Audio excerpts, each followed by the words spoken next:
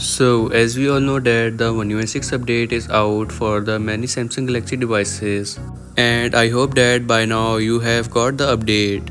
But if not yet just keep an eye on the notification as Samsung is expanding the update to other countries as well. In this video, I will show you some of the new control panel settings that you can try out after the One UI 6 update. So if you swipe down from your left side you will go to the notification and like you can see if I swipe down from the right side I will go directly to the control panel settings.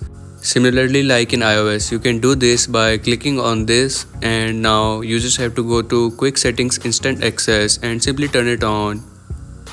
Now whenever you will swipe down from the right side it will take you to the control panel settings and from the left side it will take to the notification settings. Next uh, previously you might have noticed that when you turned on your flight mode, it automatically turns off your Wi-Fi and Bluetooth but now you can change it as it was really annoying. For that you just have to turn on your flight mode and now you have to turn on your Bluetooth. After turning on Bluetooth, it will learn it and it will do not turn off it again. Like you can see if I turn on the flight mode again, it will keep the Bluetooth on. You can repeat this process for the Wi-Fi as well. And that's a wrap for today's video. Let me know in the comment section that you like the One UI 6 control panel more or the One UI 5.